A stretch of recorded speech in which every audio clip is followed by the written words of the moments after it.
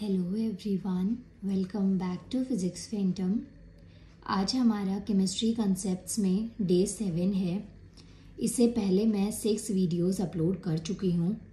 ये जो chemistry concept की गाइस मैंने जो सीरीज़ स्टार्ट करी है, इसके पीछे का मेरा मेन मोटिव ये है कि जो भी आपके केमिस्ट्री में टॉपिक्स आपके एग्ज़ाम में आते हैं स्पेशली एसएससी में जो आपके टॉपिक्स आते हैं उन्हें मैं डिटेल में एक्सप्लेन कर दूँ आपको कंसेप्ट अच्छे से समझ आ जाए। और उसके बाद में मैं इस चैनल पर आपके जो प्रीवियस ईयर के क्वेश्चंस हैं लाइक फिज़िक्स के बायो के केमिस्ट्री के सो so, वो क्वेश्चंस भी प्रीवियस ईयर के एसएससी के एग्ज़ाम से मैं सेलेक्ट करके वो भी मैं अपलोड करती हूँ, जिससे कि कंसेप्ट पढ़ने के बाद में अगर आप उन क्वेश्चंस को आप अटेम्प्ट करते हैं तो आपकी जो प्रिपरेशन है, उसका आपको आइडिया लग जाएगा कि आपको कितने क्वेश्चन समझ में आ रहे हैं, या फिर कौन सा टॉपिक या कौन सा कंसेप्ट आपका बहुत वीक है। जिन टॉपिक्स को जो लगता है कि आपके वीक पॉइंट्स हैं या वीक टॉपिक्स हैं आपको नहीं समझ में आ रहे हैं सो आप मुझे कमेंट कर सकते हैं। अदरवाइज़ जो मैंने वीडियोस अपलोड करी हैं, जैसे अभी मैंने प्लेलिस्ट में एक नई प्लेलिस्ट क्रिएट करी है केमिस्ट्री कंसेप्ट के नाम से। ऐसे ही एक टाइम के बाद में जब आपका केमिस्ट्री का कंप्लीट हो जाएगा सो उसके बाद में मैं आपको फिज़िक्स और बायो के भी ऐसे ही टॉपिक्स कंप्लीट करवा दूँगी।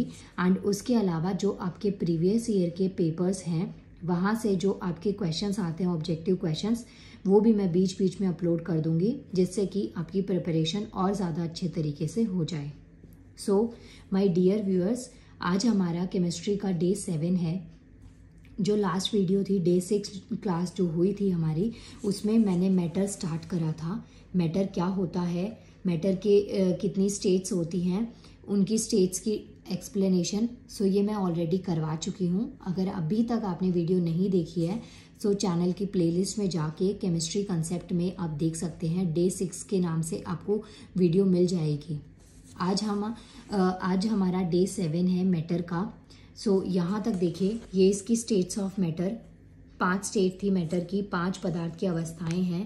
पहला हो गया सॉलिड दूसरा लिक्विड तीसरा गैस और चौथे नंबर पे प्लाज्मा और लास्ट नंबर फाइव पे है B E C Bose Einstein condensate so ये पाँचों स्टेट मैं आपको ऑलरेडी करवा चुकी हूँ।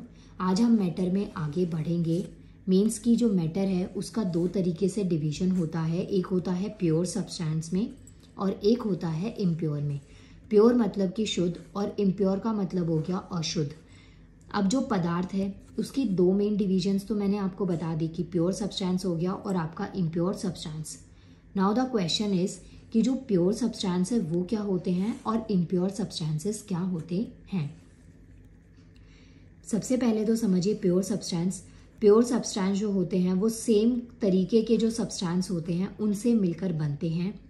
अगर हम प्योर मैटर की बात करें तो ये भी दो पार्ट्स में डिवाइड होता है। पहला तो हो गया एलिमेंट और दूसरा होता है कंपाउंड एलिमेंट में हम उनको लिखेंगे जो आपकी पीरियोडिक टेबल जो हमारी आधुनिक आवत सारणी है जिसमें इन टोटल 118 118 जो एलिमेंट है उनमें से कोई भी जो एलिमेंट है कोई भी जो तत्व होगा वो उसमें आपको सेम तरीके के तत्व एटम्स देखने को मिलते हैं एलिमेंट के अंदर। सो so, जो एलिमेंट है वो सेम तरीके के जो एटम्स होते हैं, उनसे मिलके एक एलिमेंट बनता है। तो ये सब एग्ज़ाम्पल हमारे एलिमेंट वाले पोर्शन में आप लिख सकते हैं। 118 में से कोई भी जो एलिमेंट आप चाहें, वो। अब जो ये 118 एलिमेंट है गाइस इनका जो डिवीज़न है, वो दो तरीके से किया गया है। एक आता है हमारे नेचुरल जो कि प्राकृतिक रूप से पाए जाते हैं, और एक आते हैं आपके मैन मेड मैन मेड जो कि मानव निर्मित हैं। यहाँ पे मैंने नंबर लिख दिया है। ये जो नंबर है ना, ये अप्रॉक्स में है, क्योंकि देखिए, जब हम नेचुरल की बात करते हैं तो इसमें कहीं ना कहीं थोड़ा बहुत ऐसे आपको कॉन्सिक्वेंस मिल सकते हैं कि जो कि मैनमेड हो। लेकिन ऐसा बिल्कुल एग्जैक्ट नहीं है। ये जो नंबर है, ये कई जगह आपको हंड्रेड भी दिख सकता है नाइन्टी भी दिख सकता है। बस इन शॉर्ट आपको ये याद रखना है कि प्राकृतिक रूप से हमारे पास में नाइन्टी प्लस एलिमेंट्स अवेलेबल हैं और जो बाकी के एलिमेंट्स बचे 118 में से वो हमारे मैन मेड एलिमेंट्स अवेलेबल हैं। इसके अलावा जो एलिमेंट्स नेचुरल और मैन मेड जो हमारी पीरियोडिक टेबल है, उसमें कुछ एलिमेंट्स जो हैं, वो बहुत ज़्यादा इंपॉर्टेंट हो जाते हैं, क्योंकि ये जो धातु हैं, इनका हम डेली बेसिस पे भी बहुत ज़्यादा यूज़ करते हैं और प्लस ये काफ़ी ज़्यादा कॉस्टली होने की वजह से भी इनके कई यूजेस और बढ़ जाते हैं।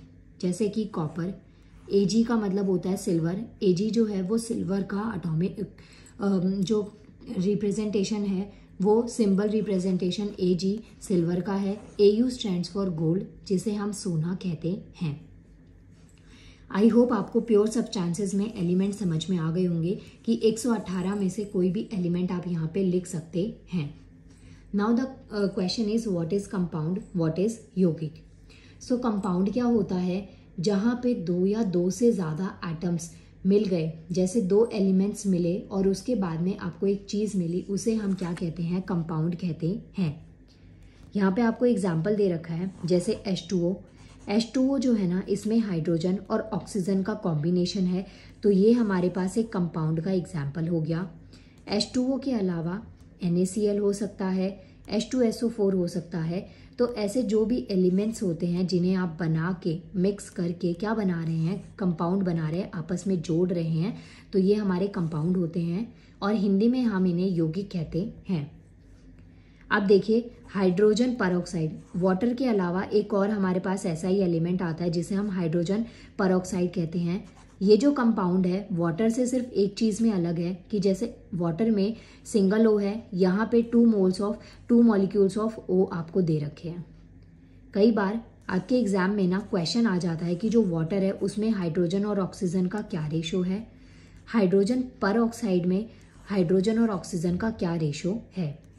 सो so, वाटर में अगर आप देखें कि हाइड्रोजन और ऑक्सीजन का रेशो है टू रेशो वन और अगर हम बात करें हाइड्रोजन पर की तो हाइड्रोजन पर में हाइड्रोजन और ऑक्सीजन का रेशो है टू रेशो टू इसके अलावा क्वेश्चन ये बन सकता है कि जो हाइड्रोजन पर है, इसका यूज़ किसमें किया जाता है? यहाँ पे देखिए, मैंने आपको तीन यूजेस दे दिए हैं। पहला यूज़ तो होता है इसका ब्लीचिंग एजेंट में हम इसको यूज़ कर सकते हैं। सेकेंड यूज़ जो हाइड्रोजन परऑक्साइड है, उसका यूज़ किया जाता है दांतों की सफ़ाई के लिए।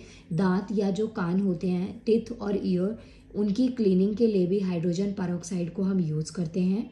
और लास्ट और बहुत इंपॉर्टेंट इसका जो यूज़ है, जो कैनवास पेंटिंग्स होती हैं कैनवास पेंटिंग्स को क्लीन करने में, उनकी साफ़ सफ़ाई करने के लिए भी हम जो हाइड्रोजन परऑक्साइड है, इसका यूज़ करते हैं। इसके अलावा हाइड्रोजन परऑक्साइड आपको कॉस्मेटिक्स में, जैसे ब्लीच जो होती है, उसमें भी आपको ये देखने को मिल जाता है।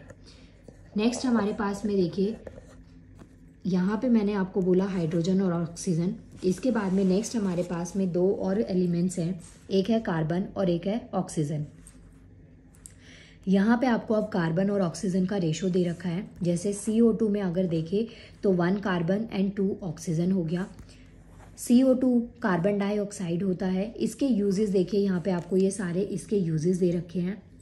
एग्ज़ाम में ना कई बार फॉर्मूला और ये सब चीज़ों की जगह आपसे यूजेस भी पूछे जाते हैं। सो आपको ये चीज़ भी पता होनी चाहिए। अब देखिए, जो सी ओ टू है सी ओ टू का फ़र्स्ट यूज़ है फोटोसिंथेसिस में यूज़ किया जाता है। सेकेंड इसका यूज़ कोल्ड ड्रिंक में करते हैं। थर्ड इसे फायर एक्सटिंग्विशर में यूज़ किया जाता है, जो आग बुझाने वाला डिवाइस होता है। थर्ड है solid C O two dry ice को यूज़ किया जाता है आइसक्रीम्स के लिए। अब देखिए नेक्स्ट हमारे पास में आता है सी ओ पहले था C O two carbon dioxide फिर आता है सी ओ इसका नाम आपको मुझे कमेंट सेक्शन में देना है कि सी ओ को हम क्या बोलेंगे। अब देखिए, इसमें कार्बन और ऑक्सीजन का रेशो वन रेशो वन है। इसके, ये क्या है? एक तो ये पॉइजनस गैस है। इसके अलावा ये ग्रीन हाउस गैस है। और जो सिगरेट का धुआँ होता है, सिगरेट स्मोक होता है, उसमें भी ये पाया जाता है। सो so गाइस अभी देखिए मैंने आपको मैटर में क्या क्या करवाया। मैटर की डेफिनेशन स्टेट्स ऑफ़ मैटर मैंने आपको पढ़ाया। उसके बाद में मैंने आपको मैटर का डिवीज़न बता दिया कि प्योर और इम्प्योर में हम इसको डिवाइड करते हैं। आज की क्लास में मैंने आपको प्योर सबचांसेस पूरे पढ़ाए हैं, जिसमें एलिमेंट और कंपाउंड्स की फॉर्म में हमने इसको डिवाइड कर दिया। इससे नेक्स्ट वीडियो में, जो नेक्स्ट क्लास होगी, हमारा डे एट जो होगा केमिस्ट्री का, उसमें मैं आपको इम्प्योर पढ़ाऊँगी कि जो इम्प्योर मैटर होता है, अशुद्ध पदार्थ जो होते हैं, वो क्या होते हैं, किस तरीके से इसका डिवीज़न होता है, कितने टाइप्स के ये होते हैं। ऐसी और इंटरेस्टिंग वीडियोस को देखने के लिए आपको चैनल को सब्सक्राइब करना है। इसके अलावा बेल आइकन को प्रेस करना नहीं भूलना है, जिससे कि आपको वीडियोस की नोटिफिकेशन टाइम टू टाइम मिलती रहे। नाउ गाइज़ मिलते हैं नेक्स्ट वीडियो में. थैंक यू सो मच और इसके अलावा आप मुझे इंस्टाग्राम पर फॉलो कर सकते हैं. Thank you